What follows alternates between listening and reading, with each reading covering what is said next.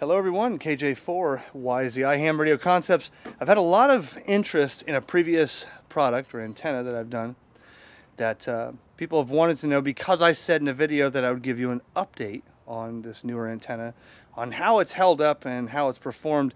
And I've never done a uh, recap video before. So this will be the first one and I want to show you which antenna it is because I have been amazed. I'll tell you a little story about it and I'll show you what it's been like. I guess it would be what, five, six months? Uh, how it's held up because you wanted to know and people are asking and I guess I owe it to you and the uh, manufacturer on an update. So here it is. You're watching Ham Radio Concepts. Does ham radio interest you? If so, visit hamradioprep.com to begin the journey. The learning begins at hamradioprep.com. so the antenna in question is right here. It is the Shark magnet mount 5 8 wave 2 meter whip antenna. Now I got this and uh, Gigaparts does stock it, Shark Antennas does make it. And this is, uh, you know, Shark Antennas started with CB antennas and now they're making a full line of ham sticks. And actually, Shark Antenna was a very generous sponsor to the Treasure Coast Ham Fest in February. They donated a lot of ham sticks. Thank you, Shark Antennas. Uh, they donated a lot of ham sticks for prizes. So what I normally have been using, so I can zoom in, is the Comet SBB7. It's on the back, where is it? It's over there. There it is in the back, see? And you can tell the paint has been missing. It's been whacked so many times. The Comet SBB7 has been a great antenna. That's a dual band. But when they sent me this and they said, you know, uh, check this out and see what you think about it and uh, how it holds up and we think you're going to be quite impressed. Now this antenna can actually, it's a 2 meter 5 8 wave or it's a quarter wave on 6 meters. I have used it once with the local 6 meter machine. I'm going to pull this down here in a second and show you. Um, and it will, with the cutting, uh, a precise cutting on here, it will actually do UHF. So I'm not sure what happens when you cut it for UHF, but um, uh, certain people have said uh, they've used it well. So the SWR is, you know, 1.7, 1.8 on UHF in its current state, but it's pretty much flat on two meters and six meters. So let me get close to it and show you. All right, so here it is stuck here on the side so I can look at it without my tripod. This is the base loaded two meter 5 8 wave magnet mount whip from Shark Antennas. So far, hasn't really rusted. Um, you know, it's been through a lot of the elements. It's been through a lot of abuse. I've hit this thing. First thing people asked was, Will it get knocked off easily? And the answer is no. I have not once knocked this antenna off. And let me show you the proof on the roof. As there were it has been since I put it there. Have I had to do any tuning with this antenna? And the answer is no. Here is the screw here on the bottom. Um, this first time setup, I haven't done anything with it. So has it has it rusted? No. Has it came off uh, with any you know whacking of a drive-through or trees? No, it has not. Uh, it is pretty flexible. In fact, here I can pull it all the way over like this. Look, I mean that's all the way over. It's still not coming off. Um, I got the neighbor here, the four-wheeler. The coax has been solid. So the thing about this antenna is it is all USA made with the exception, I think, of the ferrule. And from what Shark says, uh, you know, to, it's the only thing that they uh, outsource, I guess, yeah, to keep the costs down. But everything else, you know, these these bases are made by them. American stainless, uh, the whips, everything is hand tuned, tuned individually. The coax, you know, is all uh, you know sourced here. So it's an American. All their antennas are American made. Uh, they're all you know individually tested, and uh, it has been working well. Now here's the story about this. So, and Jan can Jan and John and Rick can attest to this.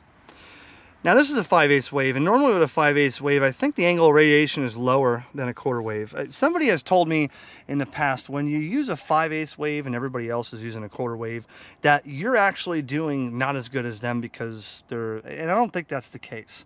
Now in, you know, January, February, March, you know, you get the spring enhancement sometimes, or the, you know, the, the time when VHF, UHF uh, opens. Okay, let me close this door here so we can get a little back here when VHF, UHF open up, you know, you have some band conditions. Uh, I was actually using this on D-Star from Vero Beach to Tampa Bay on the D-Star repeater in Vero Beach the whole time. Now I did have a band opening and I can't say that that has anything to do with the antenna, but uh, the, the fact of the matter is, if it works that good, even with a band, you know, opening, I can't say that, you know, a, a four inch antenna would do just as good.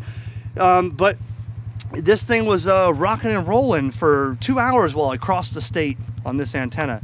And, uh, you know, sometimes it was an S9 on a repeater and sometimes it was, you know, a little flaky, but I could still make it in. Now, that Comet back there is really well, uh, good as well. In fact, you can see on this thing, I've hit this thing so many times with uh, structures, you know, the paint's missing on here and, and it's still in tune. And, but it is a little longer. And um, this one is in fact just a two meter 5 8 wave. Really good for simplex. You know, I've worked a lot of simplex stations on here that were, um, you know, quite a distance away. And maybe there were some band conditions or what, but my, my, here's my final review here. That comet is not hooked up, okay? And uh, I don't use UHF too much lately, um, unless I get on Starnet or something. But this antenna right here is a keeper. Uh, for the price, if you look at the price now, the, the, price of this is comparable to any of the MFJ or other antennas, Nagoya and Anytone, stuff like that. But it is um, a definitely, for the price, all American made. Now I want to show you the difference. Watch this. I want to show you the difference of what happens. I'm not saying that I'm directly comparing this to another antenna, but I'm going to show you another antenna that I've showed in the past that I really never got to transmit on. And I'm going to show you what the difference is between buying American and buying China. You ready? Now, with the exception of this mag mount, this does not come with it. I want you to look at this for a second. This antenna is the Anytone antenna. And unfortunately, you know, I keep it down like that because a lot of people say, oh, your antenna's broke. Now, I, I hardly use it. This is a tri-band uh, 2 meter 220 440 antenna. But look, I, have only transmitted through it one time and look, it's already rusted. Now this has been on uh, longer than that 2 meter antenna. Here's my Midland GMRS antenna and you can see that's been on about, what, a year and a half? That's rusted. Okay. Now the rust may not do anything, but I'm just letting you, I'm just going to show you. Look at the little screws here.